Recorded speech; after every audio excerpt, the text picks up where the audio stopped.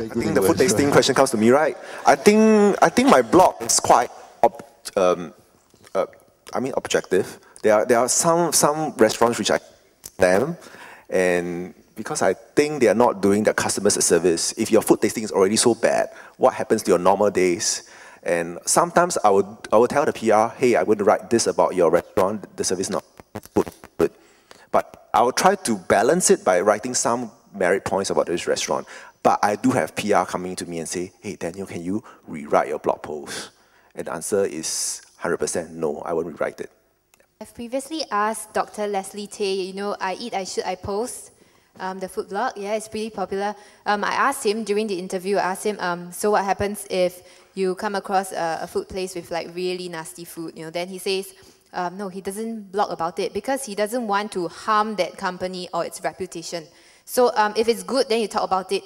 Uh, if it's not, then you don't. But for me, what I do is I will mention what's good about the place, what's what is not so good, and then finally what is still good. So it's like a hamburger effect. Top and bottom is very good. In the middle is you can avoid that dish because it's really terrible.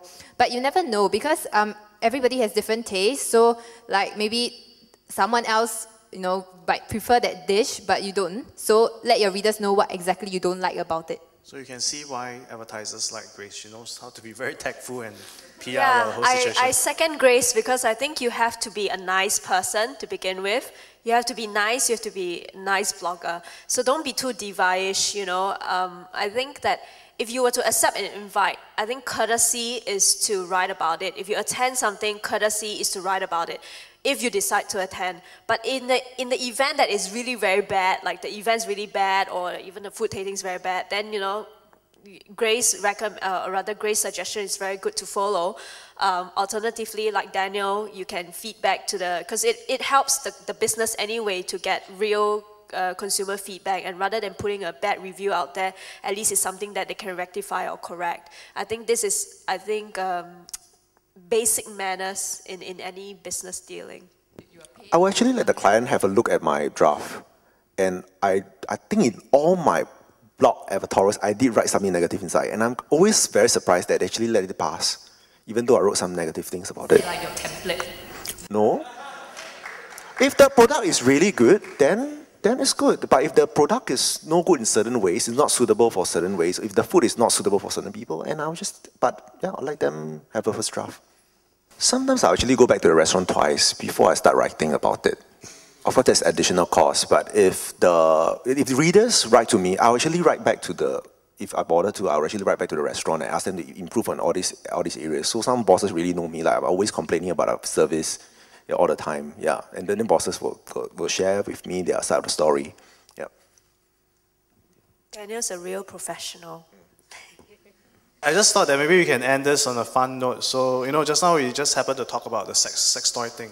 So just to pose a question to you, a hypothetical question. If I'm a, a, a brand owner for a sex toy and I want you to write a blog post, I believe everything have a price. How much would you quote for me to What's have you write price? that, post, write that, that, that blog post? So maybe from Pete, how much do you think What's something your like price? to you? we won't tell you what. But, but usually when you write Now, how much would it be for a photo and how much would it be for video? how much would it be for just text? I'm not telling you. no, I, I think when you do a review, you've got to at least try the product, right? So, um, I'm cheap. I'm cheap. Right? You won't? You won't? Even for a million dollars, you won't do that? Oh, of course I would. Absolutely. See, uh, there is a price to, to, to everything, so maybe Grace? Um, just today I saw in the papers that some teenager sold his phone app to Yahoo, is it for like, what, 17 million or something like that?